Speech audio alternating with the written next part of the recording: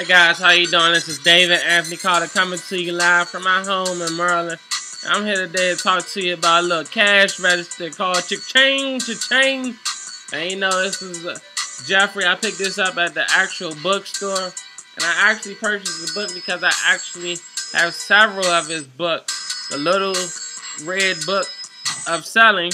And so I was like, hey, let me pick up the uh, one with the cha-ching on it. You know, see what it's all about.